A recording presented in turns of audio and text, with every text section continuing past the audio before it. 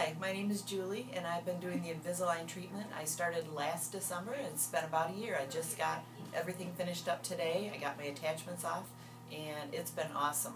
The staff here is wonderful.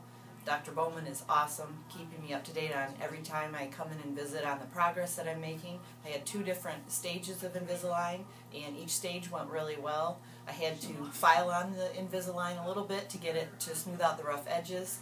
But other than that, it's been a really great experience. It's great to be able to take them out to eat, not have to worry about cutting out certain foods. So it's been a lot better than conventional braces that I had when I was a kid. So overall, I think I would recommend it to anybody. I'm really pleased with my results, and the experience has been great.